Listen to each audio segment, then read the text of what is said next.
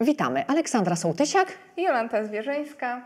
Dzisiaj postaramy się pokazać działalność niepodległościową Aleksandry i Józefa Piłsudskich, ale także ich życie codzienne. Naszą opowieść wzbogacą książki, zdjęcia i materiały pochodzące z Biblioteki Cyfrowej Regionalia Ziemi Łódzkiej. Ksawery Pruszyński pisał o Aleksandrze Piłsudskiej na łamach wiadomości polskich, politycznych i literackich. Historia nie zapomni Aleksandry Piłsudskiej. Jeśli kiedyś pisać się będzie dzieje kobiety polskiej, to historia do tego wspaniałego albumu wniesie jeszcze wizerunek czarno ubranej pani Aleksandry Piłsudskiej. Dzisiaj można powiedzieć, że Aleksandra Piłsudska pozostaje szerzej nieznana. Jeżeli jest znana, to głównie jako żona marszałka i matka jego córek. My postaramy się w tej opowieści, mamy nadzieję, że nam się to uda, przypomnieć e, Aleksandrę Piłsudską w roli koleżanki kurierki, pani marszałkowej, kobiety wykształconej i oczytanej, która wspierała poczynania męża. Panna Aleksandra Szczerbińska pochodziła z Suwałk. Wówczas był to zabór rosyjski. Po śmierci rodziców była wychowywana przez babkę w legendzie powstania styczniowego. W tradycji patriotycznej Szczerbińska nie potrafiła pogodzić się z brakiem niepodległości Polski i rusyfikacją. Marzyła o wolnej Polsce. Lata spędzone w sennych Suwałkach zbiegły jej dość monotonnie. Dopiero przyjazd do Warszawy na dalsze studia wprowadził ją na teren gorący rewolucji 1905 roku. Po skończonej edukacji w Warszawie Aleksandra Szczerbińska podjęła pracę w fabryce i tutaj zapoznała się z bolączkami życia robotników. To też popchnęło ją do wstąpienia do nielegalnie działającej Polskiej Partii Socjalistycznej, partii, która w swoim programie miała właśnie te dwa postulaty: walkę o niepodległość Polski, ale też walkę o zmiany społeczne. PPS zajmowała się agitacją, zbiórką pieniędzy na działalność partyjną, ale też brała udział w akcjach i manifestacjach z użyciem broni. E, przykładem jest manifestacja na Placu Grzybowskim w 1904 roku.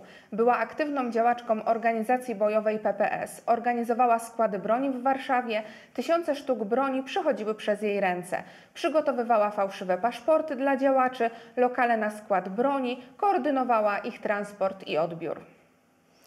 Aleksandra Szczerbińska poznała Józefa Piłsudskiego w 1906 roku, kiedy przebywał na inspekcji oddziałów bojówki.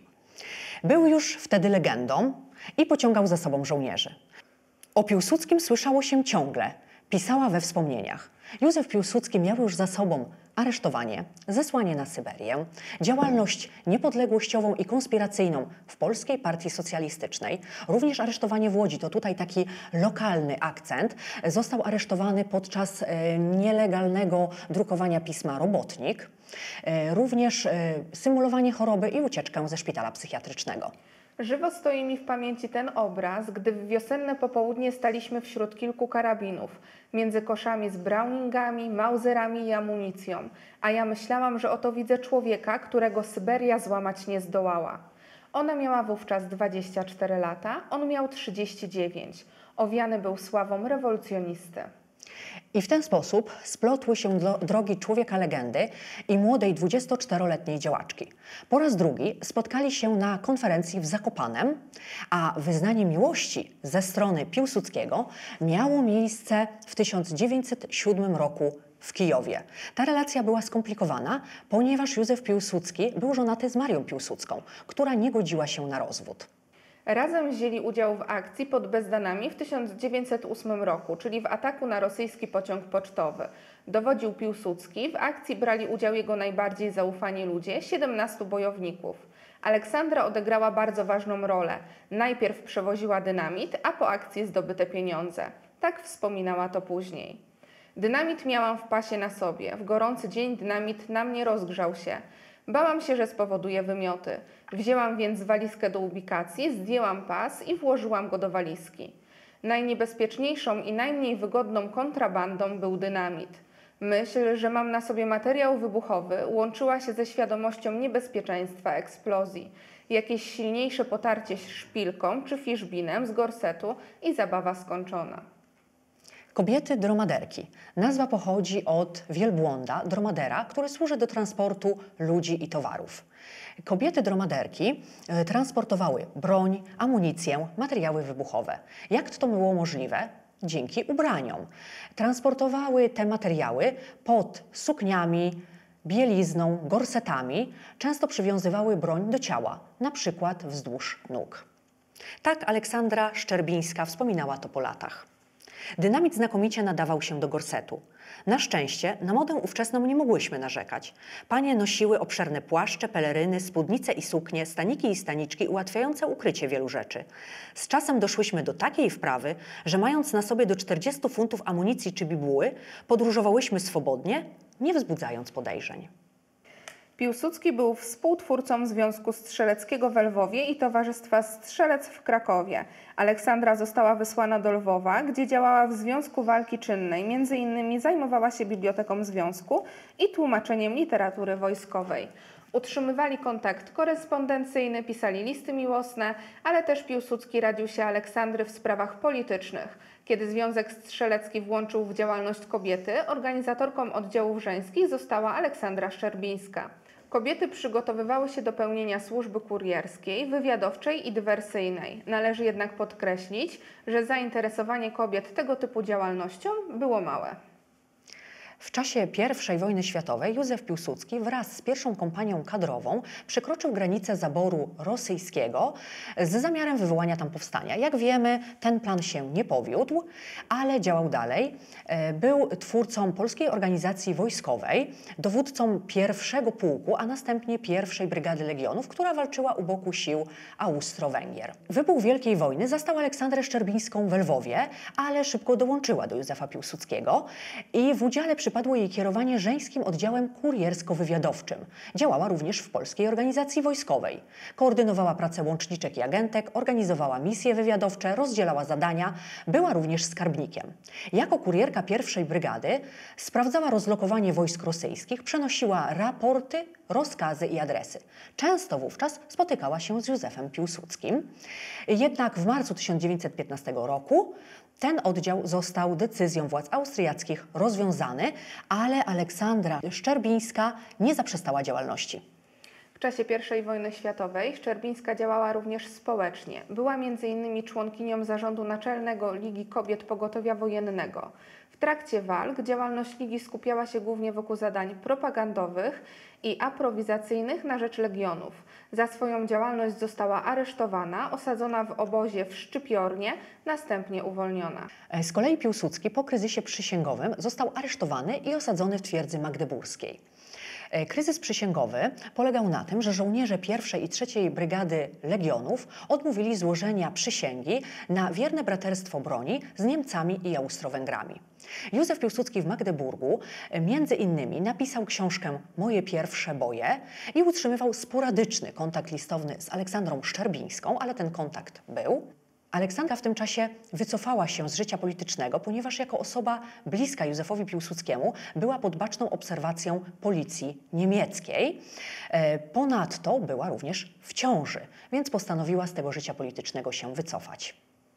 Na krótko przed rozwiązaniem pisał: Kochana Olu, za karty Twoje serdeczne dzięki, też z niecierpliwością oczekuję karty z zawiadomieniem o końcu i wyniku Twojej słabości. Jeżeli będzie syn, to według umowy ma mieć imiona Józef Mieczysław. Jeżeli córka, to rozstrzygaj ty sama. Ja bym głosował za imieniem Wanda. Ale przede wszystkim zawiadom mnie jak najprędzej o sobie i dziecku. Zatem przyjm serdeczne uściśnienia i życzenia wszelkie, a przede wszystkim zdrowia Tobie i dziecku. Dzisiaj wiemy już, że to Wanda. Wanda Piłsudska przyszła na świat w lutym 1918 roku, ale Piłsudski zobaczył kilkumiesięczną córkę dopiero 10 listopada 1918 roku, kiedy powrócił z twierdzy magdeburskiej, owacyjnie witany w Warszawie. Został tymczasowym naczelnikiem państwa. Rada Regencyjna przekazała mu władzę wojskową i naczelne dowództwo nad siłami zbrojnymi. Kolejne lata ważne w biografii to rok 1920 i 21. 1920, ponieważ wówczas na świat przyszła Jadwiga, druga córka Aleksandry Szczerbińskiej i Józefa Piłsudskiego. W 1920 roku miała również miejsce wojna polsko-bolszewicka, której Piłsudski był bohaterem i w tym roku został również marszałkiem Polski. A w 1921 roku z kolei miał miejsce ślub Aleksandry Szczerbińskiej i Józefa Piłsudskiego i wówczas Aleksandra Szczerbińska oficjalnie została panią marszałkową. W rodzinie panował tradycyjny podział ról. Aleksandra Piłsudska zajęła się prowadzeniem domu i wychowywaniem córek. Miała do dyspozycji służbę, skryła się w cieniu męża. Nie zajmowała się karierą polityczną. Za zasługi wojenne została odznaczona Krzyżem Srebrnym Virtuti Militari. Po wyborach prezydenckich w 1922 roku Piłsudski złożył władzę naczelnika państwa na ręce prezydenta Gabriela Narutowicza. Następnie wycofał się z oficjalnego życia politycznego. Rodzina przeniosła się do Sulejówka, do dworku Milusin. To był bardzo szczęśliwy okres w życiu Piłsudskich.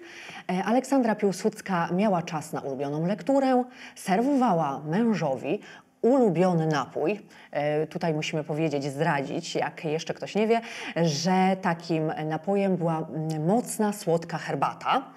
E, również opiekowała się dziećmi, zajmowała się ogrodnictwem, była sekretarką marszałka, e, organizowała również imieniny marszałka, które przypadały 19 marca i imieniny pani marszałkowej przypadające 12 grudnia. Pani marszałkowa wspominała: Na jedne imieniny mąż dostał dwa psy, dziesięć królików, jedną owcę, sarenkę, lisa, gęś i wojowniczego koguta.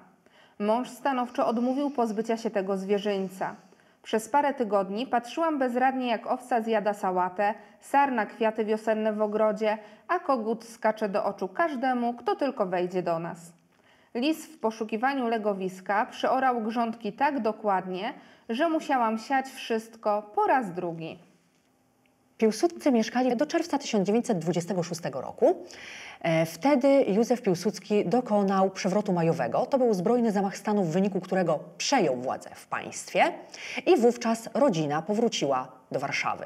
Piłsudski sprawował wiele funkcji, był generalnym inspektorem sił zbrojnych, dwukrotnie sprawował urząd premiera, nie był nigdy prezydentem. W tym czasie Aleksandra Piłsudska wspierała męża. Córki były już starsze, mąż zajęty pracą. Aleksandra podjęła aktywną działalność społeczną, brała udział w uroczystościach publicznych. W 1928 roku włączyła się w realizację obchodów dziesięciolecia niepodległej Polski. Wspierała organizacje kobiece i kombatanckie. Upamiętniała rolę kobiet polskich w walce o niepodległość. Opracowano pod jej przewodnictwem wydawnictwa źródłowe na ten temat. Zorganizowano spotkanie weteranek zmagań o wolność. Prowadziła działalność charytatywną, organizowała instytucje na rzecz potrzebujących, m.in. bezdomnych dzieci, inwalidów, ubogich, matek z dziećmi. Wśród jej współpracowników znalazł się m.in. Janusz Korczak. Organizowała zbiórki pieniędzy i żywności. Miała ogromny wpływ na marszałka w kwestii m.in. przyznania kobietom praw wyborczych. Józef Piłsudski podupadał na zdrowiu. Dla podratowania zdrowia wyjechał nawet na Maderę. Zmarł 12 maja 1935 roku. Był to czas ogromnej żałoby w całym kraju. Również z regionu łódzkiego płynęły kondolencje dla pani marszałkowej. W ilustrowanej Republice pojawiły się kondolencje. Pani marszałkowa Aleksandra Piłsudska, Warszawa. Harcerstwo łódzkie, pogrążone w głębokim smutku, jaki dotknął panią marszałkową, naród i państwo polskie z racji nieubłaganej śmierci pierwszego marszałka Polski, swego wielkiego protektora, wyraża pani marszałkowej swój ból i współczucie. Przewodniczący zarządu oddziału łódzkiego ZHP A. Hauke Nowak, wojewoda łódzki. Ilustrowana Republika 1935 rok.